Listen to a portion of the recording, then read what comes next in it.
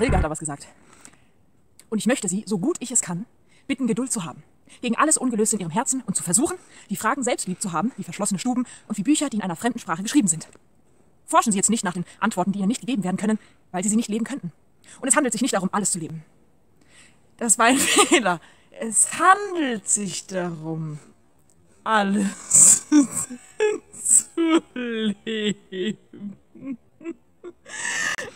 Los, leben Sie jetzt die Fragen.